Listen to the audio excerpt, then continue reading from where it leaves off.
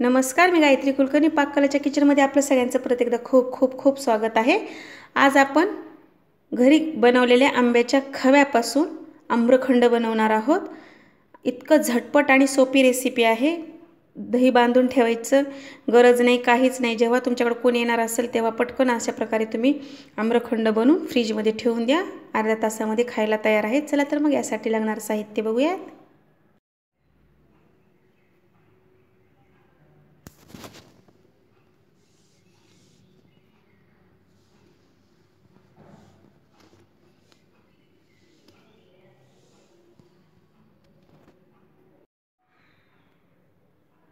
बघा किती मस्त झालं आहे एकदम हलकं स्मूदी असं आम्रखंड झालेला आहे. आंब्याचा मावा घेतला एक वाटी. आमच्याकडेला आंब्याचा खवा म्हणतात. काही ठिकाणी आंबा आंब्याचा मावा म्हणतात. किंवा मँगो पल्प असंही मानलं तरी चालतं. एक वाटी घेतलेलं आहे.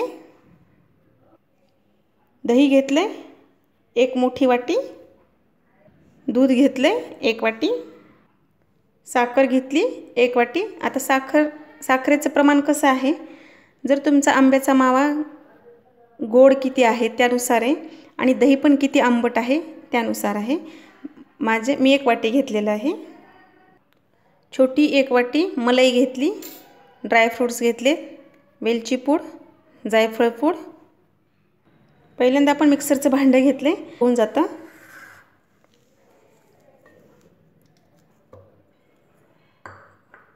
या माम्यामध्ये आपण टाकणार आहोत दूध. मिक्सरला लावून छान बारीक करून घ्यायचं आहे एकजीव असा खवा तयार असण्याचे किती फायदे आहेत बघा. एकतर आपण याचं मँगो लस्सी बनवू शकतो आम्रखंड बनवू शकतो आंब्याचा रस पण बनवू शकतो आंब्याचं सरबत बनवू शकतो.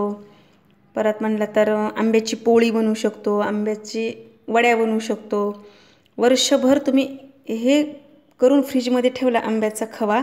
वर्षभर तुम्ही वेगवेगळे पदार्थ आंब्याचे खाऊ शकता. झटपट.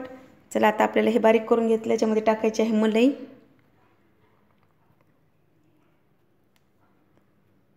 म्हणजे साय आहे. आणि दही.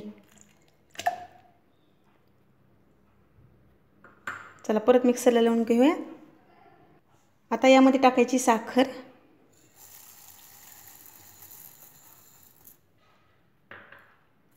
वेलची पूड.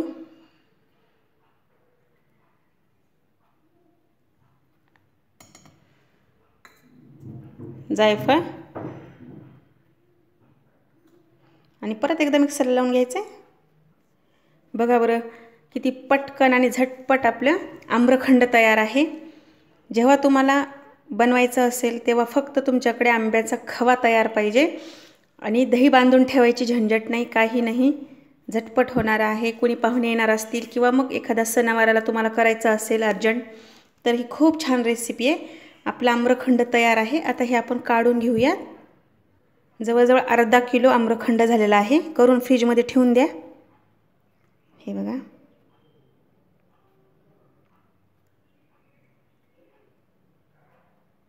याआधी मी तुम्हाला तयार आंब्याच्या माव्यापासून वड्या करून दाखवल्या होत्या.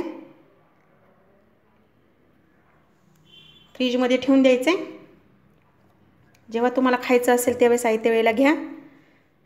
एकदम सुपर अशी रेसिपी आपली तयार आहे. चला आपण वरतून ड्रायफ्रूट्स टाकून घेऊया. चला घरगुती छान व्यवस्थित केलेल्या पद्धतीनं आम्रखंड तयार आहे. चला तर मग तुम्हाला माझी रेसिपी आवडली असेल तर लाईक शेअर आणि सबस्क्राईब करायला विसरायचं नाही. धन्यवाद.